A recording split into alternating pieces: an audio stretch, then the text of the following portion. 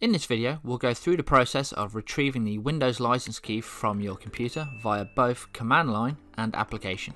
So first, let's open a command prompt window by going to Start and typing CMD for command prompt and then run as administrator.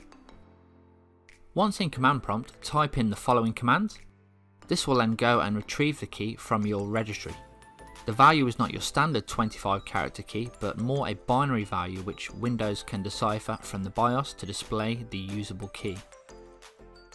The Windows key will be the key that came with the computer originally.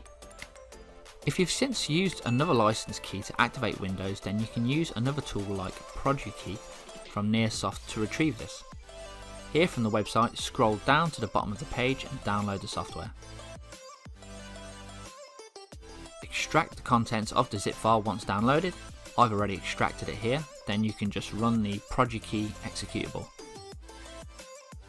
So here you can see a couple of license keys that I have on my machine. So the first one is the Windows BIOS OEM key, which is what came with the computer originally. And also you can see the Windows 10 Pro key that I've used later on to activate my version of Windows. So that's how you retrieve your Windows 10 license key via command prompt and using a third party application called ProduKey. Thanks for watching and don't forget to leave a like on this video and subscribe for more tutorials.